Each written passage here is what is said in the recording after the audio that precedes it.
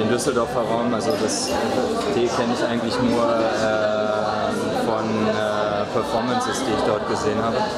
Aber der Raum ist, ist komplett anders als dieser hier. Wir haben hier eine ganz klare sozusagen Funktionsarchitektur, die aber aus einer anderen Funktion kommt, während der andere Raum ganz klar ein klassischer, sozusagen klassischer Performance-Raum ist. Schwarz, äh, eine rechteckige Fläche im Grunde genommen. Äh, es wird einfach diese Form von Peripherie, diese Form von Zentrum, diese Form von sozusagen Spannung über die Achsen und so weiter wird es dort alles nicht geben. Wenn du so willst, kann man auch sagen, die Performer werden sehr stark immer in einem Raum sein. Mhm. Alle viel stärker als hier, ausgesetzt auch in einem Raum.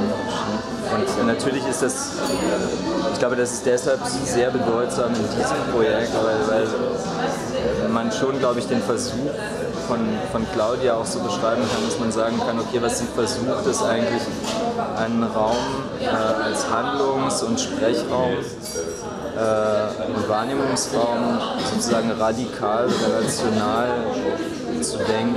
So. Man kann sagen, okay, ein, ein, Raum ist immer radikal relational, aber in dem Fall reden wir über eine Rahmung, also wir reden über eine Struktur, die gesetzt ist und die sozusagen als Angebot gemacht wird.